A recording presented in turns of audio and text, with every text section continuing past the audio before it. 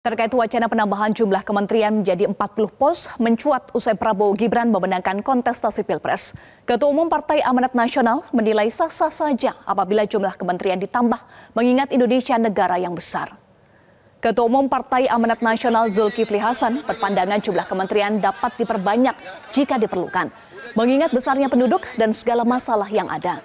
Zulhas mengingatkan saat ini dunia telah berkembang dengan segala permasalahannya, sehingga perlu ada kementerian yang menangani masalah-masalah baru itu.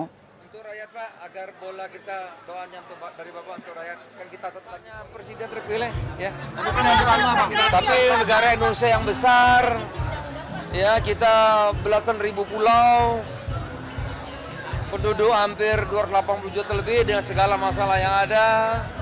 Kalau perlu diperbanyak, ditambah nomenklatur, saya kira itu juga bagus. Di lain pihak, Partai Gerindra dalam hal ini Ketua Harian DPP Partai Gerindra, Sufmi Dasko Ahmad, mengaku bingung dengan munculnya wacana pembentukan 40 kementerian di Kabinet Prabowo Gibran.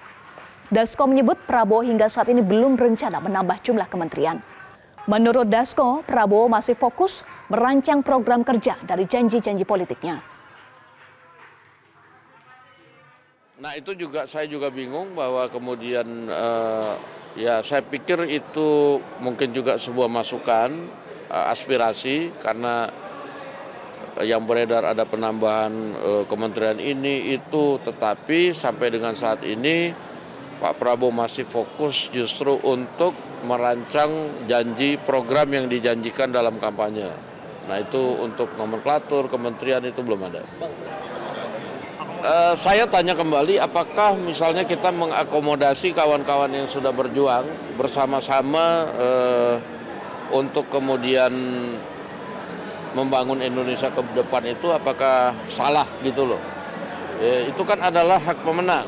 Kita juga kalau kemudian ada yang menang dia mau mengakomodasi ataupun kemudian mau memperkecil kita. Jelajahi cara baru mendapatkan informasi. Download Metro TV Extend sekarang.